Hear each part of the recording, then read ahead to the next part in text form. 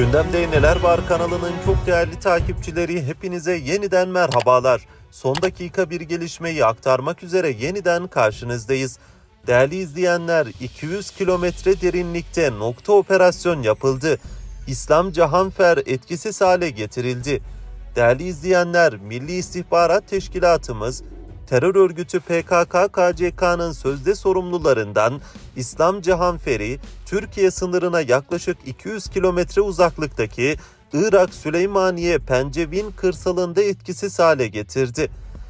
Kıymetli izleyenler, Milli İstihbarat Teşkilatı terör örgütü PKK-KCK'nın sözde sorumlularından İslam Cahanfer'i Türkiye sınırına yaklaşık 200 kilometre uzaklıkta Irak Süleymaniye Pencevin kırsalında etkisiz hale getirdi.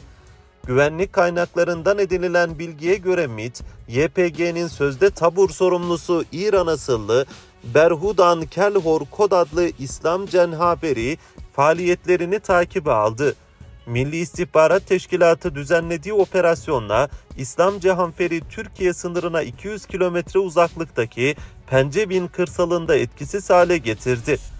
Suriye'de bulunduğu dönemde PKK, KCK, PYD, YPG mensuplarının sorumluluğunu üstlenen ve yaralı örgüt mensuplarının tedavilerini gerçekleştiren Cehanfer'in Irak ve Suriye'de faaliyette bulunduğu ifade edildi. Türkiye'nin yaptığı operasyonlarla PKK, KCK, PYD, YPG terör örgütlerinde üst düzey isimlerin öldürülmesiyle beraber PKK tabanında büyük çözülmeler yaşanıyor. Üst düzey operasyonlar yapılarak Türkiye'nin ve Türkiye sınırı hatta biraz önce aktardığımız 200 kilometre uzaklıktaki noktalara İHA ve SİHA'ların desteğiyle nokta operasyon yapılarak PKK adeta köşeye sıkıştırıldı.